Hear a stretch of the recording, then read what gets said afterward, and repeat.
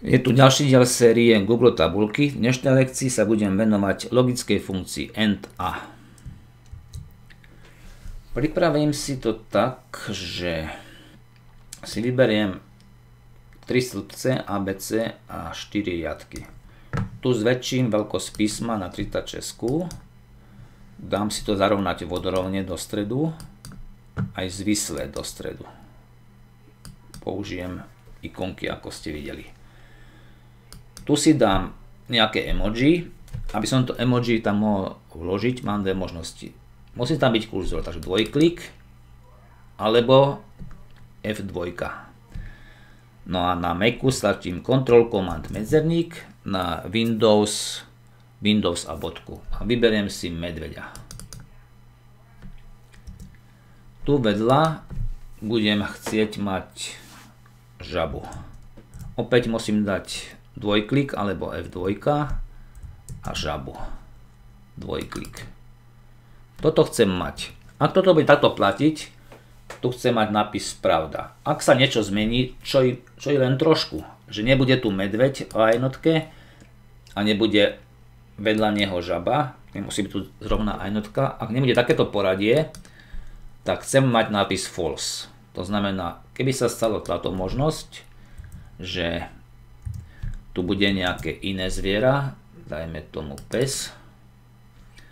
A tu bude žaba, musím tam mať ten kurzor, takže F2. Žaba tam bude. Tak tu chcem mať nápis false, nepravda, lebo ja som chcel mať prvého medveďa. Keby som to dodržal, že prvý bude medveď, ale druhá nebude žaba, vedľa bude nejaké iné zvieratko, napríklad myš, nemám tam kurzor, takže F2, až teraz môžem vložiť emoji, takže myš, tak tedy chcem opäť false. Pravda? False, false. No a sa môže stať ešte jedna možnosť, že nebude tam ani medveď, ani žaba. Alebo budú v nesprávnom poradí. Takže opäť F2, aby tam bol kurzor. A dáme tam nejaké iné zviera. Môžeme tam dať... To malo byť kuriatko.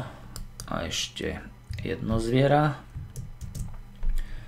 Napríklad motýl. Tak, pravda, pravdu chceme mať iba tu. Lebo našim cieľom je mať vedľa seba medvedíka a žabu. Ako náhle sa odchýlim, čo je len v jednej veci, chcem mať false, false, false. Tu nemám medvedia, tu nemám žabu, tu nemám ani medvedia, ani žabu.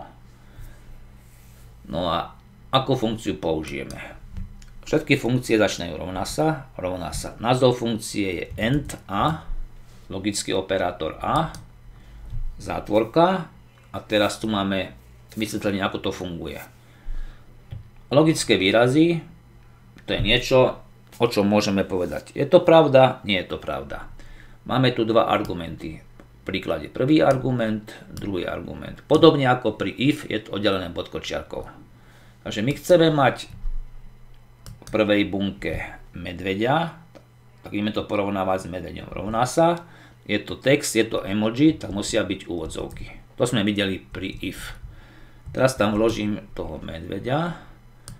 Ak bude v prvej bunke medveď, potom sa dáva bodkočiarka a ak bude v druhej bunke žaba, zabudol som na tú druhú bunku, ak v druhej bunke bude žaba, ak druhá bunka, ak sa hodnota bunky B1 rovná žaba, opäť tie uvozovky, pretože ide o text, dám Enter, to by tam pridá automaticky zátvorku. Ešte to zväčším dvojklikom. Vidíme, že táto funkcia nám dáva pravdu, pretože je splnené, čo sme chceli. V prvej bunke musí byť medveď, v druhej bunke vedľa neho musí byť žaba. A teraz, keď ten vzorec nakopírujeme, tak máme tam false, false, false. Pretože tie adresy boli relatívne, tak sa to pekne poposúvalo. Keď sú relatívne adresy, to musíte čítať takto, že nie, že bunke A1 je medveď. Bunke, ktorá je o dve polička doľava, je medveď. Bunke, ktoré je o jedno poličku doľava, je žaba. A to platí aj tu, o dve polička, o jedno poličko. O dve polička, o jedno poličko. Vždy sa zistuje, čo tam je. To vidíte aj na tých premenených číslach. Máme tu A2, B2. Tu bude A3, B3. Tu bude A4, B4. Pretože sú to relatívne adresy. Takto funguje funkcia AND. Pravdu nám dá jedine a jedine vtedy, keď sú splnené obidve podmienky. V našom prípade musí byť v bunke, ktorá je o dve polička doľava medveď a bunke, bunke o jedno poličko doľava žaba. Ako náhle je aspoň jedna chyba, tu nám vadí pes, tu nám vadí myš, tu nám vadí aj motýl, aj kuriatko. Vtedy je false. Musia byť splnené obidve podmienky. To je logická funkcia AND. A.